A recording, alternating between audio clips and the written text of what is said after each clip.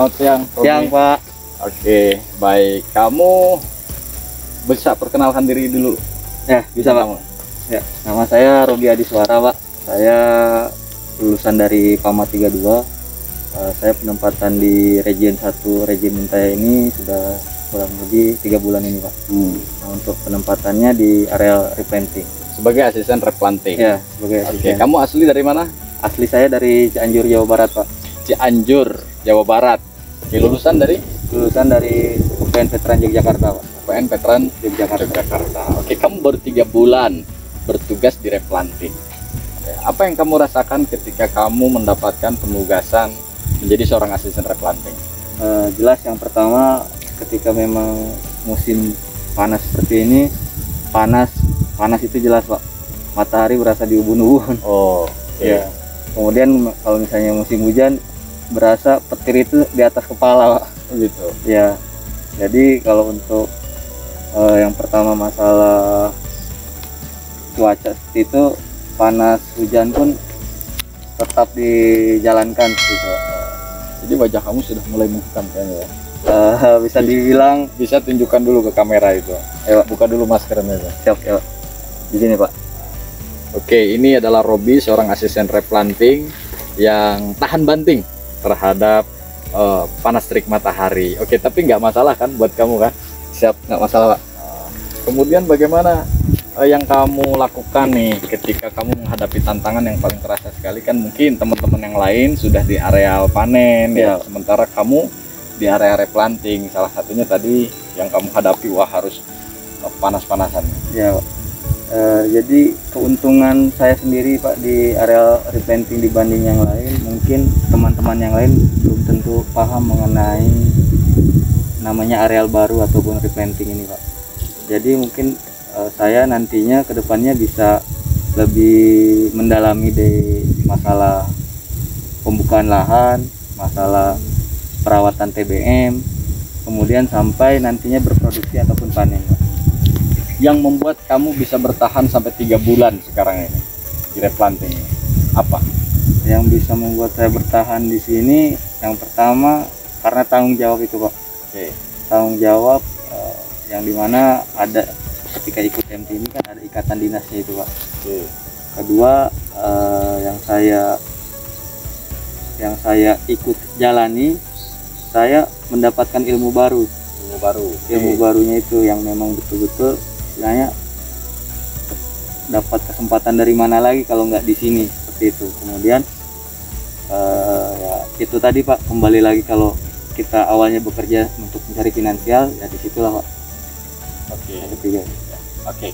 Kamu punya bayangan apa ke depan ketika kamu saat ini pegang replanting, ya kan? Kemudian kira-kira lima tahun ke depan apa kira-kira yang akan kamu dapatkan? Eh, jelas untuk sampai lima tahun ke depan ketika saya memang fokus di replanting ini saya bisa yang tadi saya bilang memahami dari yang namanya pembukaan lahan perawatan nanti yang namanya dari TBM 0 sampai dengan produksi nah ketika nantinya di lima tahun ke depan otomatis saya eh, syukur-syukur bisa menguasai pak menguasai yang namanya dari buka lahan sampai dengan nantinya panen Oh. Kamu sering telepon sama orang tua? Sering pak Sering suka ngeluh sama orang tua? kalau untuk sama orang tua mungkin saya nggak ngeluh cuman kok makin hitam nak katanya Oh, gitu. Terus kamu jawab apa? ya namanya di lapangan bu Terus apa tanggapan orang tua? Eh, ya udah hati-hati aja jangan terlalu panas-panasan nanti demam atau segala macam ya saya bilang tetap nanti jaga diri juga kayak di sini Jadi apa pesan orang tua yang selalu disampaikan ke kamu, Robi? tetap jaga kesehatan jaga yang lima waktu kemudian ya tetap saling komunikasi dari sini sampai ke Jawa sana Oh, sekarang kan proyek biopol. iya Bu. Biopol ya. Iya. Oke, baik. Oke, baik. Robi, eh, ada pesan nggak yang mau kamu sampaikan kepada teman-teman yang sebaya dengan kamu, yang barangkali kali ini juga sama baru memulai karir di perkebunan kelapa sawit? Ya, mungkin kalau dari saya pesannya yang pertama teguhkan dulu niat dalam hati pak Oke, ketika memang kita sudah memilih itu ya kita jalani prinsipnya ketika sudah dipilih A kita harus jalani di A itu Pak. Hmm. tetap semangat kemudian eh, bukannya boleh mengeluh bukannya tidak boleh mengeluh tapi kalau misalnya eh, ada kendala ataupun apa pun dikonsultasikan ke mungkin ke senior kita ataupun ke pimpinan kita. Jangan sampai kita mengelola masalah itu eh, mentok seperti itu pak. Jadi kita dengan sesama dengan sebaya bisa interaksi terkait permasalahan itu pak. Oke, baik Robi terima kasih atas sharing pekerjaan kamu dan juga uh, tips yang kamu sampaikan tadi sekaligus sederhana tapi sepertinya itu cukup bisa menjadi bekal ya bagi Ya. para teman-teman apa sebaya kamu yang baru saja mengikuti ataupun memulai karir di perkebunan kali. betul pak Terima kasih Robi, tetap semangat bekerja ya. Siap. Uh, jangan lupa bermimpi untuk menjadi pemimpin di masa depan. Siap. Oke, oke sampai ketemu ya Robi ya. Terima kasih. Ya, baik eh, teman-teman semuanya, baru saja saya mewawancarai satu orang lulusan MT Perkebunan Kelapa Sawit yang baru bertugas selama tiga bulan dan kebetulan ya ditugaskan sebagai asisten di areal replanting.